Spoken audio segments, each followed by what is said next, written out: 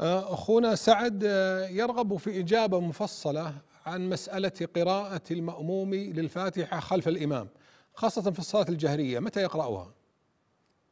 يعني عندنا سنة نبوية كريمة في هذا الباب وبالتالي علينا أن نسير عليها فقد قال النبي صلى الله عليه وسلم لا صلاة من لم يقرأ بفاتحة الكتاب وجاء في الحديث أن النبي صلى الله عليه وسلم صلى وقرأ قراءة جهرية.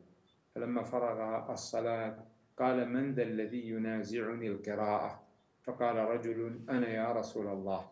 فقال النبي صلى الله عليه وسلم لا تفعلوا إلا بفاتحة الكتاب فإنه لا صلاة لمن لم يقرأ بفاتحة الكتاب. وهذا الخبر قد أخرجه الإمام أبو داود بإسناد حسن. وبالتالي فنحن لا نحتاج إلى إيراد أقوال الفقهاء واختلافهم مع وجود هذه الأحاديث الواردة عن رسول الله صلى الله عليه وسلم.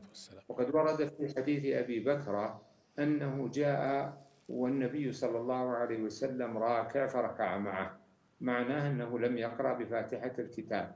فاستنتجنا من ذلك أن الفاتحة بالنسبة للمأموم ليست ركنا في الصلاة وإنما هي واجب فيها تسقط لوجود العذر ومن العذر ألا يدرك الإمام إلا وهو راكع. وبالتالي نفهم هذه المسألة. والعلماء في هذه المسألة لهم ثلاثة أقوال. منهم من يقول بأن قراءة الفاتحة للإمام ركن.